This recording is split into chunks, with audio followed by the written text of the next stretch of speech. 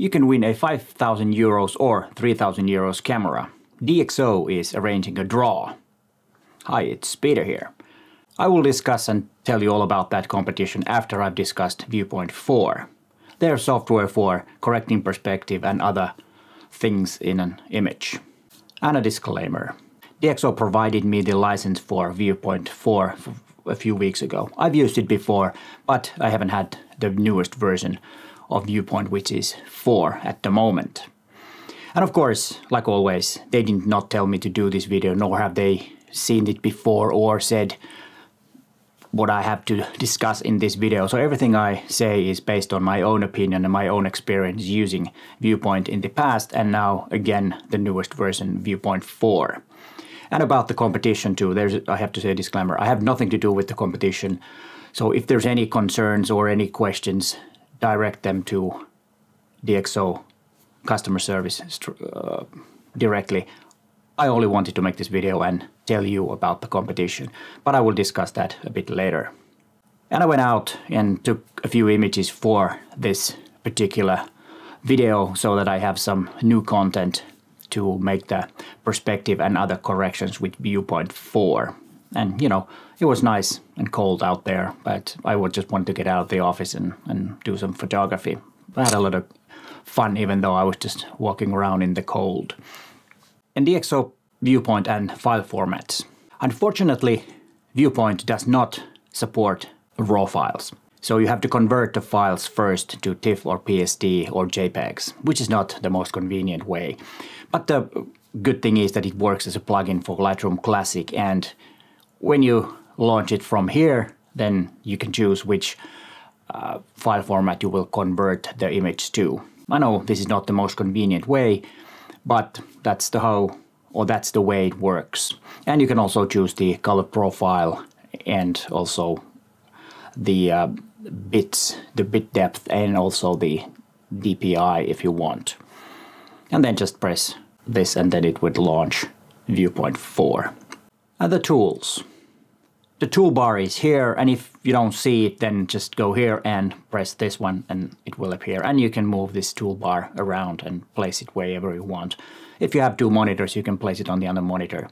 And then the one good thing about, or actually the best thing in DxO software is that it uses their lens and camera modules. And Viewpoint 4 does that too. So you click here, but the workflow is slightly different. You need to open the original image, wait to reach the metadata. I don't really know why it cannot use the metadata in the TIFF or PSD or JPEG file. Maybe it strips it out when it's uh, transferred to Viewpoint 4. I think this is something that they could correct, but they haven't done it yet.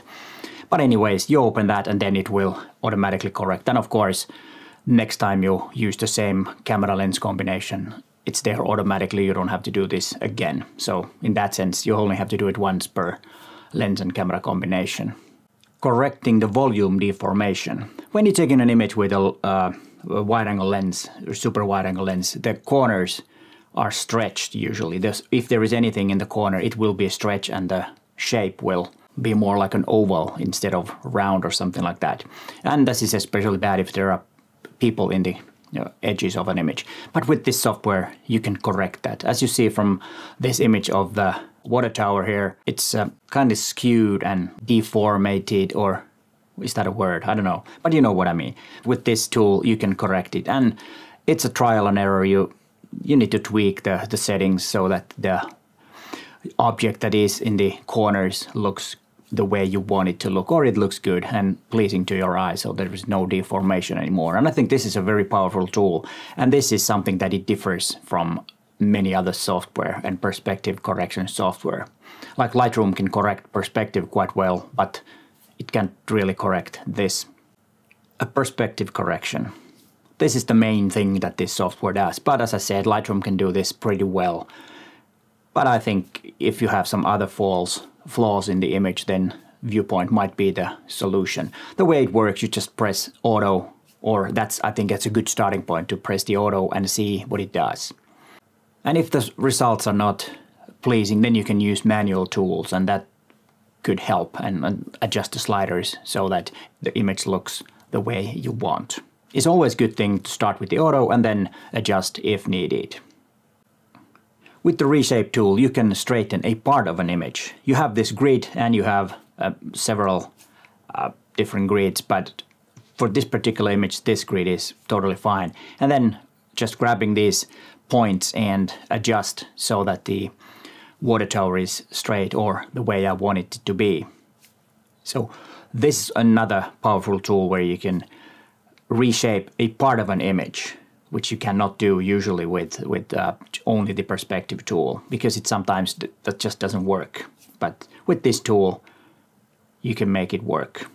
Before I show you the most fun tool, a few words about the competition. Well, it starts today, 7th of December, and if you buy something before the end of the year and give your information to DxO, you're eligible to draw, where the first prize is a $5,000 slash euros camera, and then there's the second prize where they draw three 3,000 euro cameras, and then there is a, a, third prize. 25 can win a book called The Globe of Paris by Gary Zucker, uh, Zuercher, which is worth about $50.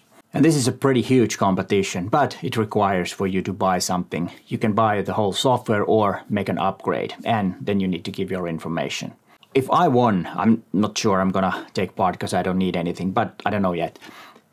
But anyways, what I would pick if I won, it would be either XT5 or XH2S. What would the camera be that you pick if you take part and win? What it would be? please tell us in the comments down below.